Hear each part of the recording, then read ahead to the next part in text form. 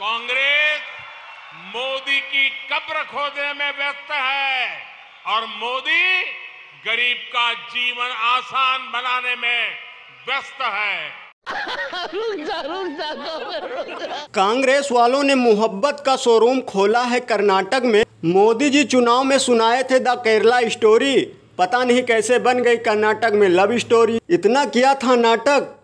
फिर भी हाथ से गया कर्नाटक। दोस्तों समझ में नहीं आता कि जिस फ़िल्म का प्रमोशन मोदी जी ने किया वह फ़िल्म इतना अच्छी थी तो इन साहब को नींद कैसे आ रही है फ़िल्म देखते समय? नहीं चला नाटक हाथ से गया कर्नाटक। अब ना बनना सयाना नहीं हाथ से जाएगा हरियाणा।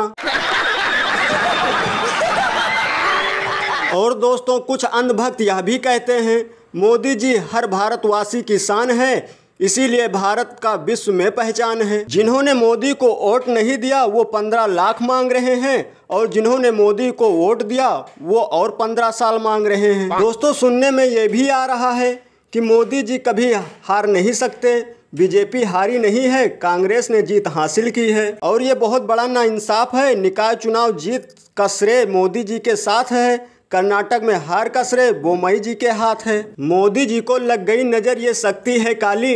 नज़र उतारने के लिए भक्तों बजाओ ताली। बजाओ थाली काम नहीं आई इक्यानबे गाली।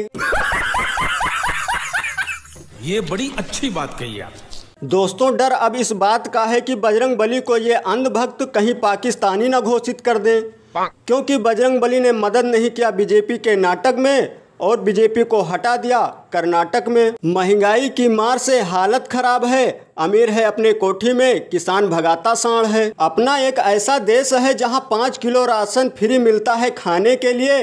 ग्यारह सौ पचास रुपए का सिलेंडर मिलता है उसे पकाने के लिए। वो गालियों और फ़िल्म का कथा कहते रह गए। कर्नाटक में दक्षिणा में छाछठ सीट गिन दिए।